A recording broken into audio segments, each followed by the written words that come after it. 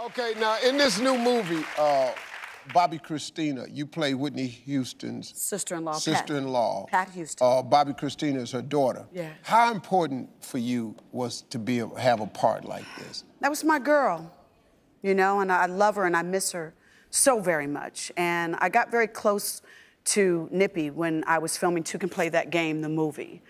And I'll, I'll, never forget a quick story, real quick. One time I was finishing up work and she texted me. She said, You done working? And I was like, Yeah. She's like, Come have a drink with me. And I was like, Girl, I'm just in my work clothes. She was like, Come, I'm casual too.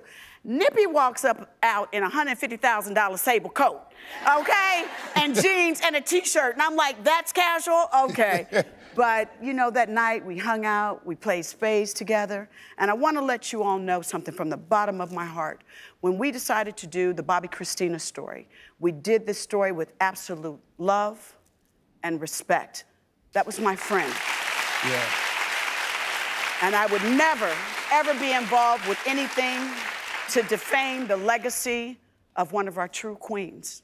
And yeah. I want you all to know that. Oh, she was a bad girl. Yeah, yeah. Oh, you that... know, we was at her listening party together. Yeah, we yes, were. Yes, yes. We were at a listening party, the party that she released her album when she made her comeback. Yeah. Vivica it had been six there. years since she had released an album, and uh, I'll never forget that night, Steve. We were at Time Warner Center in New York, overlooking Central Park.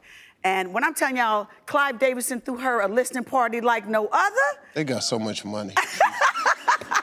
Jesus. But it, it, was classy and she came out and, and, and when she was like, hey, Vivica, y'all, I was like all proud. I like fanned out. I was like, she know me, y'all. She know me. Yeah. So, but yeah. it, it, was wonderful. Oh, yeah, well, she know you because y'all played spades together. Absolutely. That's a know. real black moment, folks. That's when you know. Yeah, you family. Yeah. yeah.